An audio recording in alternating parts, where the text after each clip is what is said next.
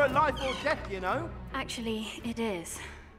You want me to go to England, retrieve the diamonds which the Queen suspects might be in Buckingham's possession, which will naturally involve breaking into some heavily fortified, highly impregnable facility. The Tower of London. Since the Cardinal spies are trying to implicate the Duke, it. Then return to Paris with every soldier a center. Both sides of the channel to stop me from doing so. Anything else? No. Well, I really only have one question for you. Why in the world would I do that?